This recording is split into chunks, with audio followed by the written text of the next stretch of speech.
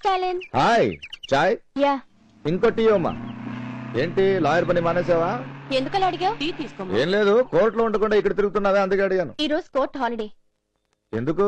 Judge గారు పోయారు. Oh my God. Judge గారు పోతే కోర్టుకు హాలిడే లెక్చరర్ పోతే కాలేజ్కి హాలిడే రౌడీలు పోతే షాప్స్కి హాలిడే. హాలిడేకి మీనింగ్ లేకపోయింది. దిస్ ఇస్ పరిస్థితి ఆఫ్ ఇండియా ఇప్పుడు గొడవ ఎందుకు కానీ? నన్ను టెంపుల్ దగ్గర డ్రాప్ చేయవా ప్లీజ్? డ్రాప్ చేయడం అంటే పడేయటం. నిన్ను పడేయటం నాకు ఇష్టం లేదు. లిఫ్ట్ ఇస్తావని అడుగు ఇస్తాను. సరే లిఫ్టే ఇవ్వు. వై నాట్ టీకి డబ్బు ఇవ్వు. నీ కేసు వాదిస్తున్నందుకు డబ్బులు ఎలాగూ ఇవ్వవు. అట్లీస్ట్ టీకైనా ఇవ్వు. అలాంటి చెడ్డ అలవాట్లు మనకు లేవు నువ్వే ఇవ్వు.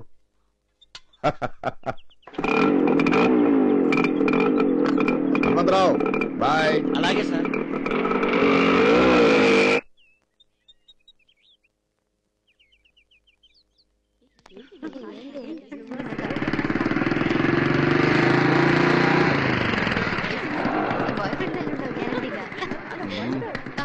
ఫిగర్స్ హలో పాపలు సినిమాకి వెళ్తాం వస్తారా? నువ్వు వస్తావా? నువ్వు వస్తావా? పాపలు. నువ్వు.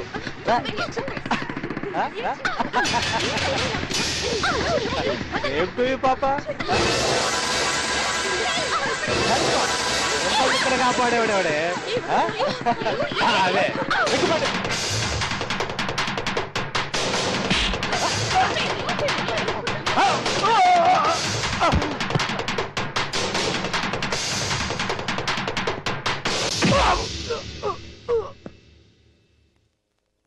అద్దంలో ఎప్పుడైనా మొగం చూసుకున్నావా? ఏయ్! పగలు చూస్తే రాత్రి కళ్ళలోకి వస్తావు? నీకు అమ్మాయిలు కావాలా?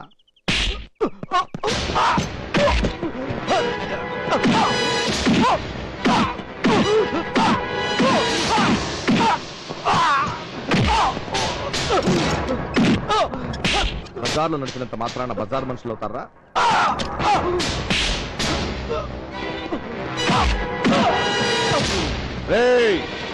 ఇంకోసారి ఏరియాలో చూస్తే చంపేస్తా. నేనెవరో తెలుసా? నువ్వెవడరా? సీతయ్య గారి మనిషిని. నువ్వెవడరా? సీతయ్య గారి మనిషిని. ఏయ్ నువ్వెవడరా? సీతయ్య గారి మనిషిని. అమ్మా నాన్న పేరు పెట్టలే? అక్బర్.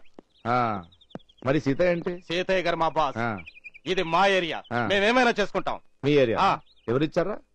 ప్రైమ్ మినిస్టర్ ఆఫ్ ఇండియానా ప్రెసిడెంట్ ఆఫ్ ఇండియానా?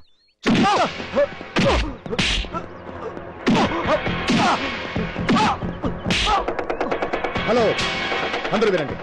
వీడు సీతయ్య మనిషిట. ఇది వీడి ఏరియా అట ఏం కావాలని చేసుకుంటారంట ఒక అమ్మాయిని లాగాడండి రేపు మీ చెల్లినో తల్లినో అమ్మాయినో లాగొచ్చు. నేను ఒక పోలీస్ ఆఫీసర్ని అడిగితే సీతయ్య మనిషిని బెదిరిస్తున్నానండి చూడండి నేను మీ డబ్బుని జీతంగా తీసుకుంటున్నాను. మీ పని చేస్తున్నాను.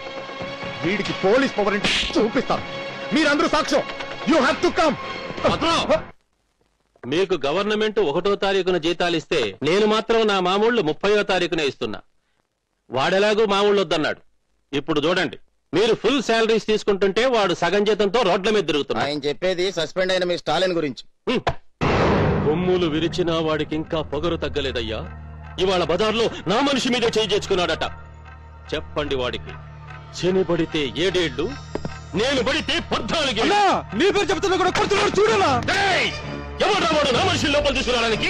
సస్పెండ్ అయిన వాడికి స్టేషన్లో ఏం పని? తోసేయండి వాడిని బయటికి. లేదా అమాయకుడైన నా మనిషి మీద చేయి చేసుకున్నందుకు వేసేయండి వాడిని పక్కలో ఆ!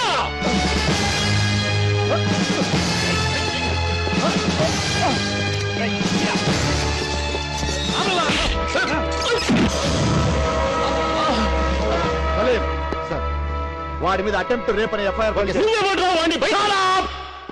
నేనెవ్వరా భారత పౌరుడు citizen of India every policeman is citizen of this country with uniform and every citizen is policeman of this country without uniform తప్పు చేసిన వాడిని పోలీస్ స్టేషన్ తీసుకురావడానికి ఖాకీ అవసరం లేదు లాఠీ అవసరం లేదు. ప్రతి ఒక్క పోలీస్ మ్యాన్ యూనిఫామ్లో ఉన్న పౌరుడు సిటిజన్ ఆఫ్ ఇండియా ప్రతి ఒక్క పౌరుడు యూనిఫామ్ లేని police officer citizen of India and I'm citizen of India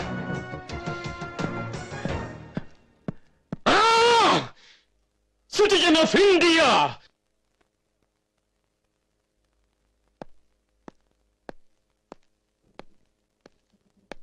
good morning sir. Good morning. Be seated. Thank you sir. ఆడవాళ్ళకు పెళ్ళైన తర్వాత ఇంటి పేరు మారుస్తారు. ఎందుకు? భారతీయ సంప్రదాయం ప్రకారం పెళ్ళైన ఆడపిల్లకి భర్తే సర్వస్వం అని చెప్పడానికి ఇంటి పేరు మారుస్తారు. రైటర్గా చెప్పాలంటే తన తల్లిదండ్రులు చేసిన అప్పులకి తనకి ఏమాత్రం సంబంధం లేదని ఆ పిల్ల తన మొగుడికి చెప్పడానికి అలా చేస్తారు.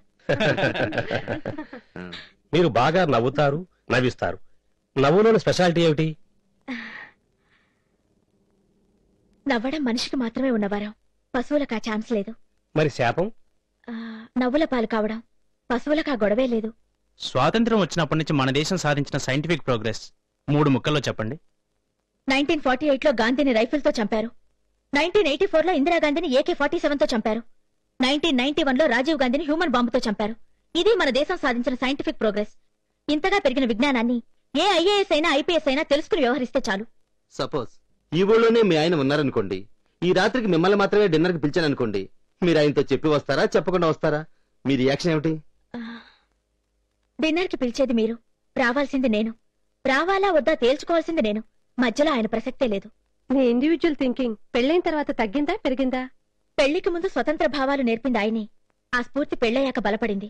మీరు వచ్చిన ట్రైన్ నంబర్ చెప్పగలరా? Train number two seven four five. Ticket number eight seven six five. Seat number two seven. నేను అడిగిన దానికి స్పెల్లింగ్ చెప్పగలరా? Congratulations.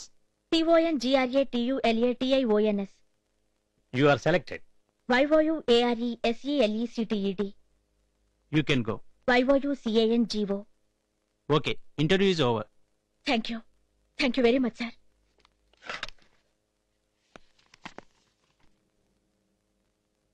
hello ఏ ఏ ఏ ఎవరది? హలో ఏ ఏ ఏ ఆగో! ఎవరది? ఏ ఏ ఏ ఎవరది? ఆగో! రిలాక్స్. చెప్పు. ఎందుకు ఆత్మహత్య చేసుకోవాలని ప్రయత్నించావు? నేనేం ఆత్మహత్య చేసుకోవాలనుకోలేదు.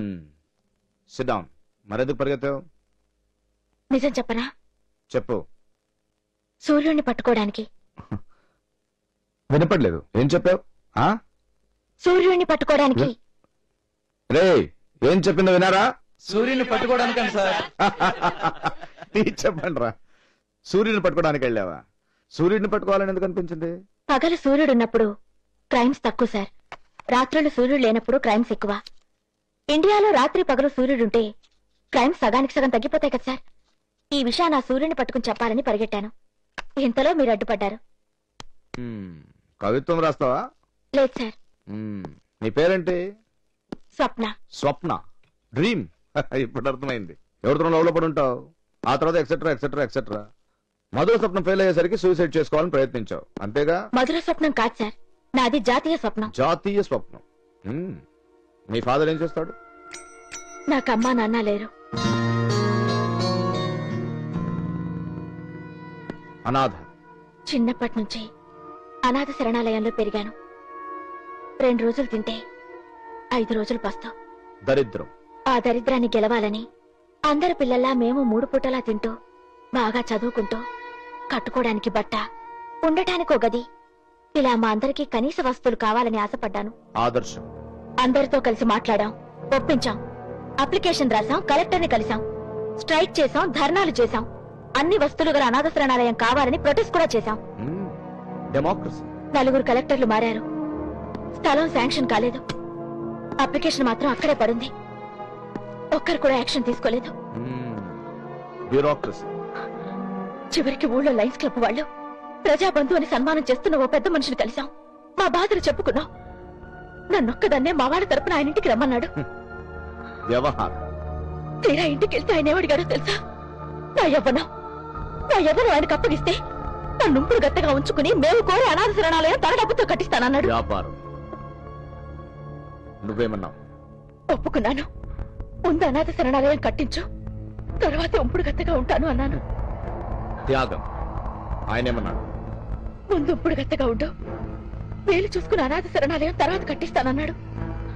నాకు నమ్మకం కలగలేదు. ఎవరిని హెల్ప్ అడిగినా నా మానం కావాలన్నారు నా మాంసాన్ని బేరం పెట్టారు. నా ఆశయం ఆకలి అర్థం చేసుకుని ఆశ్రయం ఇచ్చే ఒక్క మగాడు కూడా లేడు సార్. ఈ మగ జంతువుల ప్రపంచంలో ఉంటే ఉంపుడు గత్తగా ఉండాలి లేదా రేపై చావాలి? ఓ అనాథ బతుక్కి చావు కంటే పరిష్కారం వేరే ఏం లేదు సార్. ఏం లేదు.